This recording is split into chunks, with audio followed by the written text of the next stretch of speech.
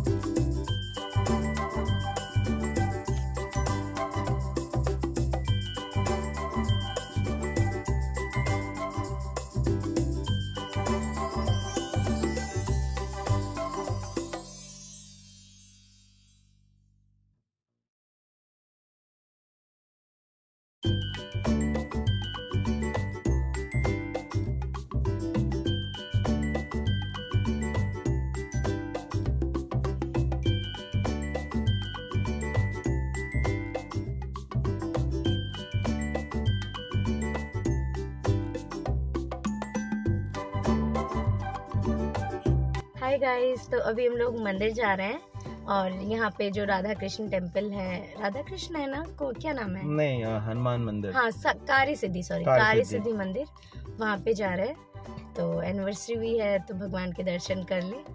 तो बस अभी हम लोग जा रहे हैं और अभी अचानक से बारिश होने लगी है। तो चलिए मंदिर में मिलते हैं। मिलते हैं आप लोगों से।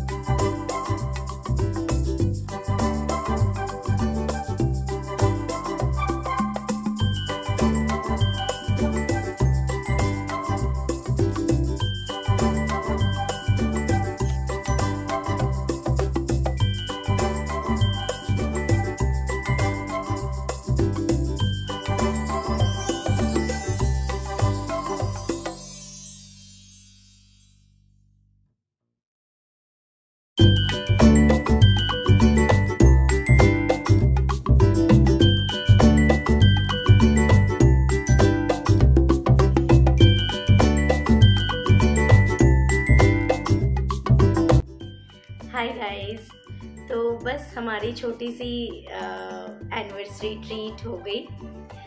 और पहले तो हमारा मन था कि कहीं डिनर पर जाए बाहर। बट वही होता है ना वीकडेज में क्या होता है कि बिल्कुल आशीष भी थक जाते हैं और उनका भी बहुत ज़्यादा मन नहीं होता। लेकिन और यहाँ पे शाम को बारिश भी होने लगी तो फिर हमारा और भी मन नहीं हुआ और शाम को वो सब लेकर आ गए थे, वड़ा पाव वगैरह तो वो सब खा लिया था तो बहुत ज़्यादा भूख भी नहीं थी। तो फिर हमने सोचा पिज़्ज़ा ले लेते हैं तो पिज़्ज़ा ले आए हम। तो बस ऐसे ही हमारी छोटी सी एनिवर्सरी पार्टी हो गई।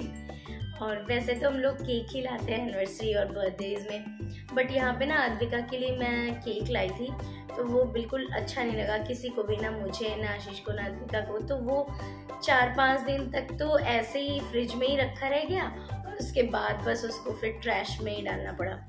तो बहुत अच्छा नहीं लगा। तो फिर इस बार हमने सोच के ही रखा था कि इस बार केक लाएँगे पेस्ट्री लाएँगे। तो यहाँ पे जो स्पाइस बाज़ार है, जहाँ से वड़ा पाव लाते हैं वहाँ का जो पेस्ट्री है ना, वो बहुत ही अच्छा होता है। तो पाइन ले आई थी और अद्विका को चॉकलेट वाला पसंद है तो वो चॉकलेट पेस्ट्री ले आई थी। तो हो गया हमारा छोटा सा एनिवर्सरी स्पेशल और गिफ्ट तो एज सच ये होता है ना कि गिफ्ट एक्सचेंज हम लोग ऐसा कुछ नहीं करते हैं कि हाँ कोई स्पेशल डे है एनिवर्सरी है बर्थडेज है तो ही मतलब गिफ्ट्स एक्सचेंज करना है। आशीष कहते हैं कि जब जो मन में आया वो तब ले लो।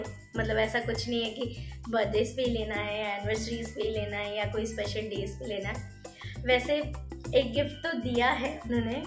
अभी तो नहीं बताऊँगी मैं। मेरा गला ना बहुत वो बहुत चोक हो गया है। तो आवाज़ भी भारी हो गई है। तो गिफ्ट है जो कि आपको पता चल जाएगा बाद में। मैं आपको बताऊँगी कि आ, क्या गिफ्ट मिला है। तो थैंक यू सो मच आप हमारे छोटी सी सेलिब्रेशन में आप इसका पार्ट बने। Thank you so much please अगर आपको मेरी वीडियोस अच्छी लगे then please like share and subscribe my channel bye take care good night